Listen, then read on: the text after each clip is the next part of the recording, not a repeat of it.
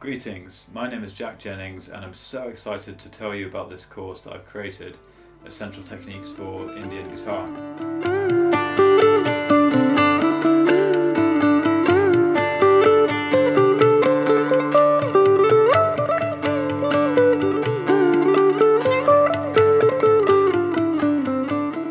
This course will give you an overview of Indian classical music and how we can approach it as a guitar player.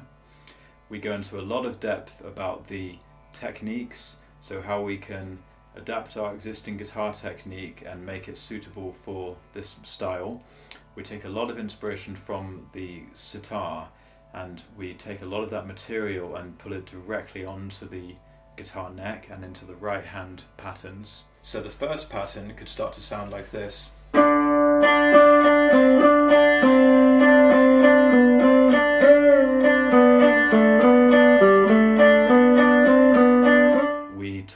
About the theory side of it, so you really understand the vocal system of Indian classical music, because that's perhaps the most important thing to really understand the thought process within the music. We also look at the rhythmic patterns of the tabla and how we can improvise within these rhythmic cycles. And we look at some traditional melodies, and they just work so beautifully on the guitar.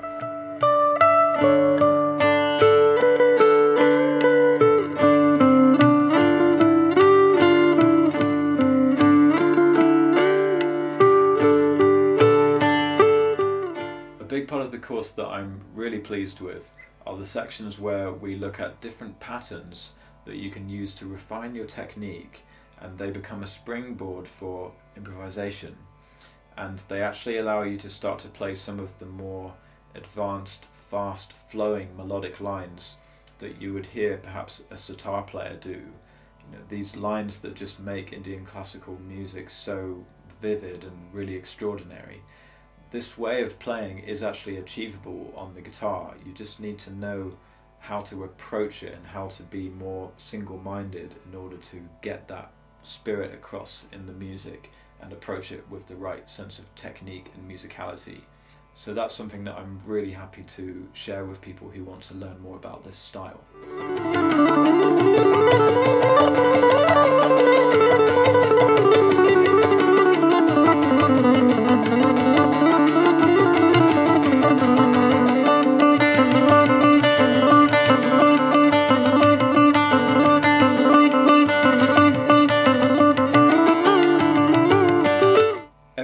The course is also accompanied by guitar tablature, so you'll be able to take your time and practice the different patterns with the tab in front of you.